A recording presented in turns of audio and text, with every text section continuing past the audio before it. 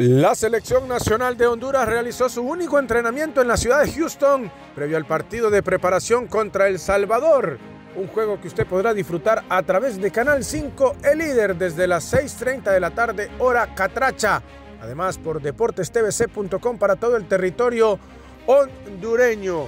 La bicolor, tras caer derrotada frente a Costa Rica y quedar fuera de la Copa América, intentará lavarse la cara y levantar el ánimo contra los salvadoreños en un duelo que servirá como preparación para el inicio de la eliminatoria en el próximo mes de junio.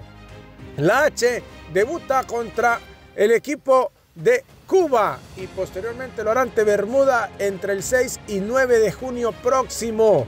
En el entrenamiento hubo caras distintas al día posterior al partido, un poco más de ánimo, el equipo trabajó de buena forma y esperan esperan hacer un buen partido contra El Salvador, que viene mal enrachado tras no conocer el triunfo en más de una veintena de juegos.